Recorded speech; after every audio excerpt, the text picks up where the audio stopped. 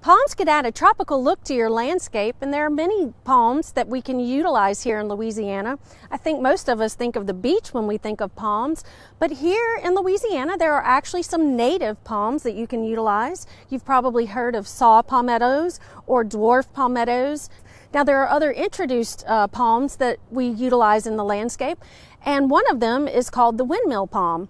Now, here we have a windmill palm that has been planted here on the uh, LSU's campus for several years, but has recently died. Now, what happened to this tree? And let me tell you, it seems like it happened overnight, and it did over just a few weeks.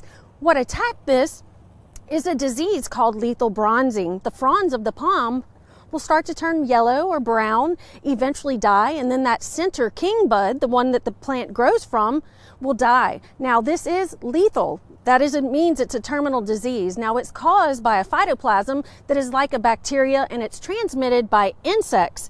So it cannot be cured. If you do have a palm that has succumbed to this uh, lethal bronzing or lethal yellowing, you need to remove it. You want to work with a licensed arborist if it's a large tree to have it removed. Now, if you have any healthy palms nearby, you want to make sure you get that palm, the dead one, removed immediately because the disease can be transmitted from the diseased plant into a healthy plant.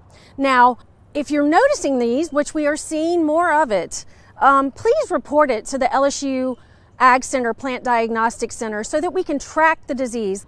For Get It Growing, I'm Heather Kirk Ballard with the LSU Ag Center.